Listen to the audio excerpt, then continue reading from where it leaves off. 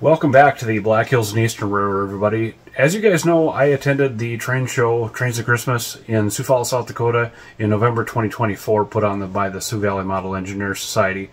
Um, and I gave uh, a preview to that. I'll link to that in the description, as I will the um, the recap episode that I'm going to do um, that as it becomes available here. But what I wanted to do in this episode, quick like, is give you a, a run through on what I uh, my purchases from the uh, show. I was looking for several items on the list. Uh, some some items for myself and uh, a couple of items for other guys. I was successful in one of those and uh, probably knocked off a few uh, of items from my list. So let's get started.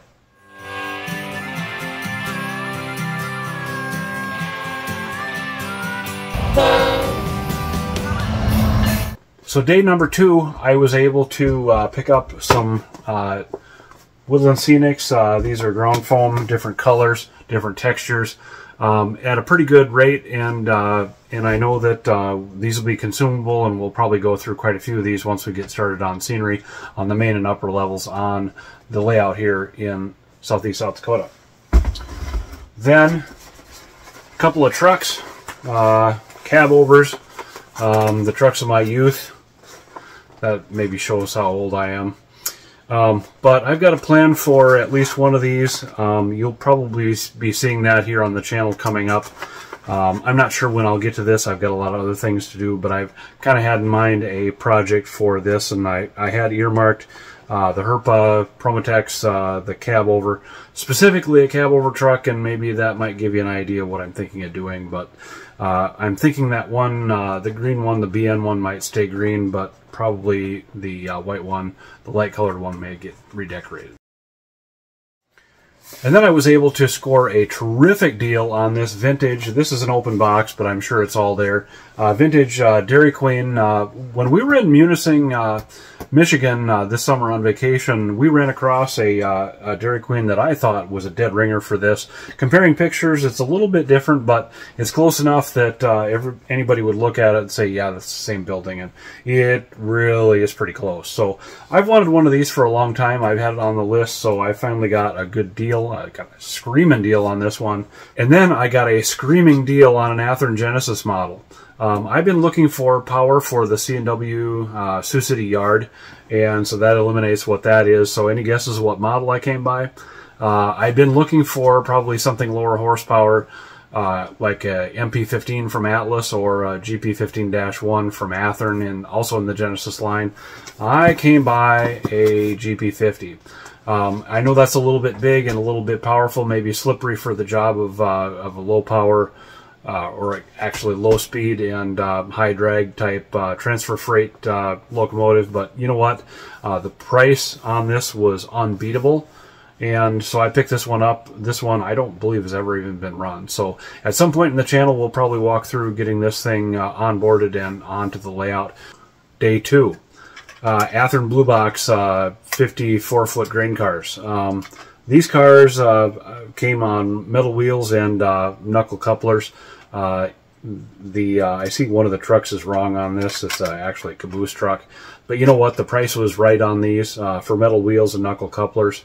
Uh, I'm not going to complain too loud. And just to add interest to a uh, grain train, this is what we want. And you know what? I'd never seen a Sioux City, Iowa grain terminal car before. Um, just add just add interest and variety to a grain train. So then I mentioned that I was on the lookout for some pieces for uh, buddies of mine and uh, yeah, not the least of which uh, the ELS equipment, uh, Escanaba Lake Superior, a couple of box cars, and an RS12. That's a uh, that's a Baldwin for the, those of you in the back of the classroom.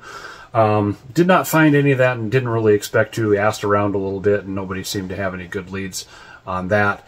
Um, I'll probably end up putting that out to HO Swap, but if any of you guys are uh, in the know about any about the whereabouts of uh, either Wal Walther's box cars or I believe that's a Bowser model, that RS12 um, let us know in HO scale. Um, and then what I was successful in finding, um, I picked up this uh, helium car for my buddies, uh, John and David over at Two Rail Fans, uh, that YouTube channel. Go ahead and check those guys out. Um, I'll put a link to those guys in the description below as well. Um, I'll be sending this on to Texas uh, to those guys uh, as soon as uh, this get done wrapping up this this flip here. Then, um, Walther's uh, center beam, 72 foot center beam loads. Um, I've got a plan for this. It just reminded me that I wanted to get going on um, a project that I have. I'll show you this later.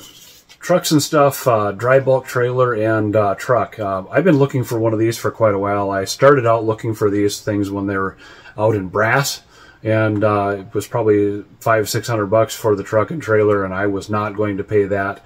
Uh, these are from trucks and stuff now. I picked this up from uh, Teskey's trains john Teskey out of waseca minnesota. Uh, got a screaming deal on this. Um, buddy mine uh, uh, i guess brother eric uh, mentioned that you know that with the level of shine coming off that trailer and truck that uh, you know those owner operator guys are pretty proud of their stuff but I think I'm going to knock that shine down just a little bit. That, that I think that needs some dull coat. Sorry guys. Speaking of trucks 40 foot evergreen container. Ship it on the Frisco. America's resourceful railroad I I'm addicted to these roundhouse cars. These are really well done. Um, the printing is nicer than on Athearn cars most of the time, and these are this is just a really looking neat looking car. Uh, this will probably be weathering practice, but you know what? Who cares? From one Mr. Rick Mills, another BN annual. This is uh, 74, 75. Um, I have fun looking through the articles in these things. Uh, not so much the uh, the research value of it, but there's a lot of good articles on how things were done back in the and, and special projects that were going on on the railroad.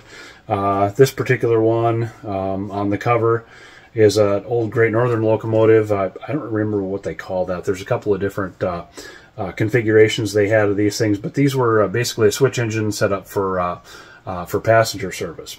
And then finally, last but not least, um, I picked up a three rail O uh, boxcar. This is from Weaver, and I got, as you can see here, I got a screaming deal on this. This is right at the end of the show. Um, I've been looking for some BN equipment for our under the tree. Uh, I don't know if you'd call it a layout, but um, we've got that circle of track with the uh, with the uh, Lionel starter set on it, and I've been looking for some BN equipment. I'd rather have a caboose, but I got a deal on this, so this is what we got. Thanks for following me through my train show loot purchases, and uh, hope you uh, like the content here. If you did, smash that like button, subscribe for more, and hopefully I'll see you in the next one. Bye, guys.